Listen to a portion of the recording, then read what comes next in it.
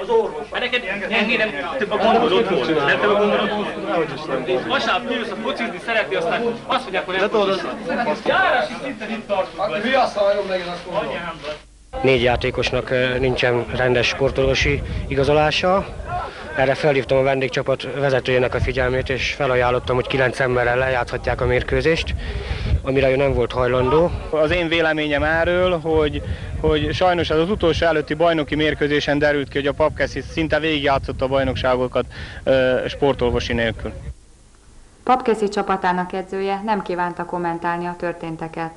Ez a kellemetlen közjáték azonban nem zavarhatta meg az esti záróbankett hangulatát, ahol értékelték az elmúlt szezont, díjazták a legkiemelkedőbb teljesítménynyújtó játékosokat. Ha jól tudom, ti takarítást is vállaltok.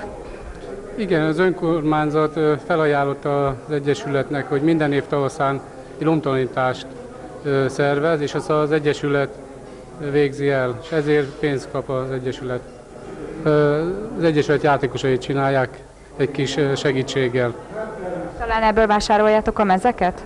Hát pontosan azt nem tudom, hogy miből vásároljuk a mezeket, nem vagyok jártas, de nagyon sokat segít ez nekünk.